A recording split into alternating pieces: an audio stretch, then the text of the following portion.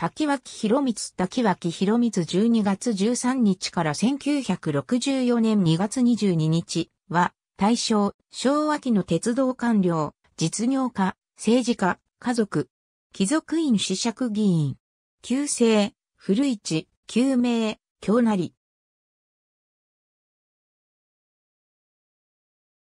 帝国大学工科大学学長、古市君武の4、男として生まれ、死爵、滝脇新鍵の養子となる。養父の隠居に伴い、1923年4月30日、死爵を終爵。広光と改名した。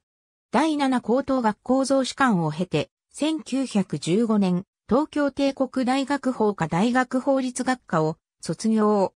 同年、鉄道院に入り経理局属となる。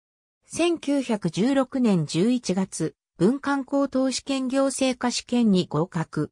以後、鉄道院書記、同副参事県道総裁秘書、鉄道省事務官県道大臣秘書官、鉄道省参事官、内閣総理大臣秘書官などを歴任。